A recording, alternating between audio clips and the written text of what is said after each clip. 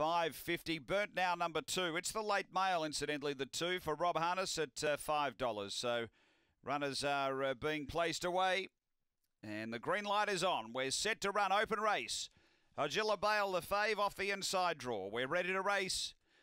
On their journey, Speed early, Spiritual Vision came out humming. Out by two and a half early, moving through Cobalt Missile, getting a check, dropping back Gypsy Boy. They go to the back. Spiritual Vision stayed up the track is clear. Cobalt Missile a length away and really looking imposing. Uh, then Hagilla Bale behind those, Victor Darrell. Then came Tiger Holly. A gap away, Gypsy Boy and extremely off the back, railing up Cobalt Missile. Coming after it, Hagilla Bale. They turn. Cobalt Missile led from Hagilla Bale and Victor Darrell, but Cobalt Missile uh, too good second. Hagilla Bale will just grab that, I think, from Victor Darrell and Spiritual Vision from Bert now. Uh, then Tiger Holly extremely and Gypsy Boy.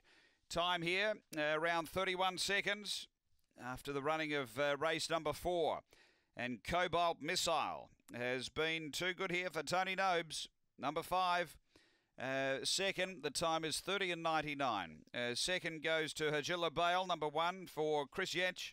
And uh, third is six, Victor Darrell for Lisa Rasmussen. So 5 1 6 3 fourth after uh, Angle Park, race four.